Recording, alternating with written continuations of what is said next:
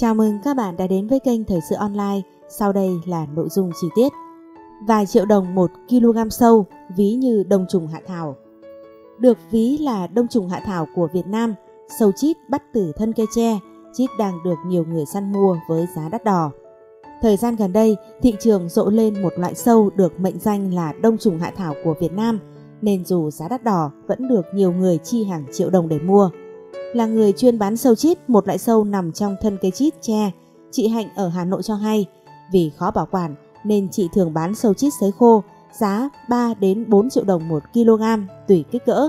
Còn với loại sâu chít đã chẻ tách sâu ra khỏi đọt có giá hơn 1 triệu đồng.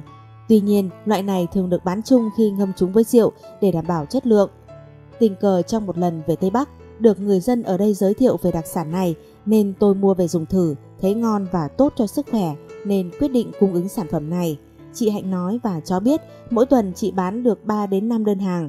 Nhiều khách đặt với số lượng nhiều thì phải hẹn cả tuần, thậm chí cả tháng. Chị bán sản phẩm này được 2 năm nay nên hàng đa phần được khách quen đặt, họ mua về ngâm rượu. Cũng khá đắt khách khi họ ra bán sâu chít. Chị Tuyết ở thành phố Hồ Chí Minh cho biết, có tháng chị bán được 3 đến 5 kg. Loại này đa phần là khách trong độ tuổi 50 đến 70.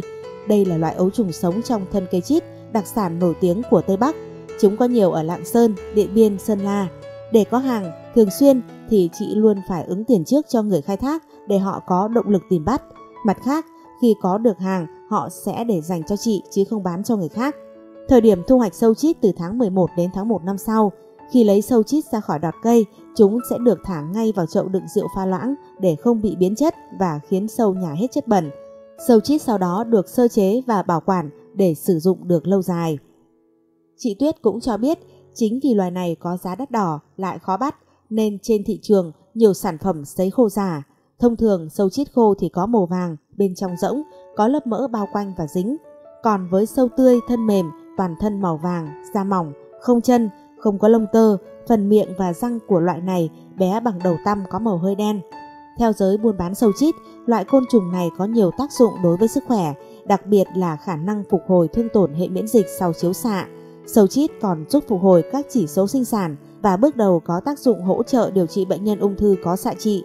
Sầu chít ở dạng sấy khô, tán bột có vị cam ngọt, tính ôn, theo quan niệm dân gian có công dụng như đông trùng hạ thảo, còn gọi là sâm chít. Nó có tác dụng bổ phế, bổ thận, tráng dương khí, an thần, dễ ngủ, chữa thận âm. Tuy nhiên, trao đổi với VN Express về công dụng cũng như tác dụng của loài sâu này, tiến sĩ bác sĩ Trương Thị Ngọc Lan, Viện Phó Viện Y Dược học Dân tộc cho biết, chưa có công trình nghiên cứu khoa học nào cho rằng sâu chít là loại có tác dụng chữa bệnh và tốt cho sức khỏe như đồng trùng hạ thảo. Đây là loài côn trùng phát hiện trong thân cây, một khi chúng là động vật thì chứa nhiều protein, do đó rất khó bảo quản. Nếu người dùng mua phải sản phẩm không chất lượng sẽ tiền mất tật mang. Trong khi đó, vì nhu cầu tăng cao nên người dân thi nhau lên rừng tìm bắt sâu chít và cách khai thác vô tội vạ đã khiến những đám lau, chít chưa có sâu bị chặt phá bừa bãi.